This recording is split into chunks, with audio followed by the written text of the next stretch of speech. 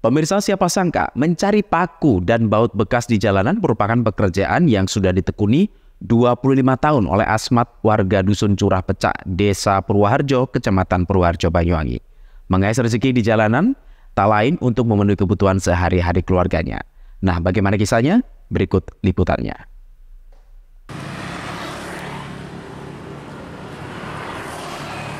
Beginilah keseharian Asmat warga dusun Curah Pecak Desa Kecamatan Purwoharjo, Banyuwangi. Pria yang kini sudah menginjak usia 55 tahun tersebut sudah 25 tahun menggeluti pekerjaan, mencari paku dan baut bekas di jalanan.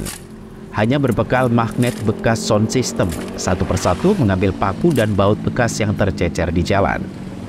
Asmat mengaku jika selama ini tidak memiliki pilihan lain lantaran tidak memiliki keterampilan lain Meski pernah bekerja di proyek, namun karena pandemi dirinya kembali lagi mencari paku bekas di jalan. Dalam setiap hari biasanya ia mampu mengumpulkan paku bekas mencapai 10 hingga 15 kg. Paku dan baut bekas yang dicari di wilayah Banyuwangi Selatan ini dijual ke pengepul di Kecamatan Purwoharjo. Dan biasanya dalam setiap minggunya barang tersebut dibeli dengan harga Rp3.500 dalam per kilogramnya.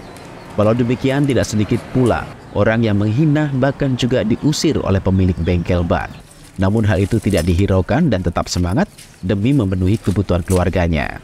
Bahkan di samping itu menurutnya bisa dapat membantu para pengendara roda 2 ataupun roda 4 agar tidak terjadi kebocoran pada rodanya. Oke, setiap hari ini pulang misalnya nggih nggih kadang 10 kilo terus gansal was kilo kilo daerah nggih teng Sanggar kali teng Sukojo Lukagung di Tegal Sari nggih sekitar pun sekitar daerah. Keliling lah pokoknya iku per kilone sakniki kula dipundhut tiga setengah. Teng pengepul rosokan. Teng daerah Purworejo. Nggih teng daerah Purworejo Keraden nggih.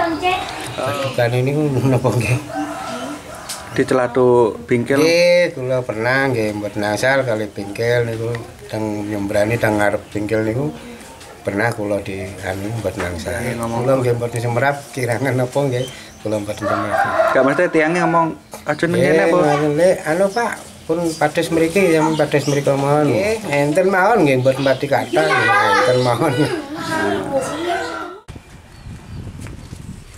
Dan Eka CTV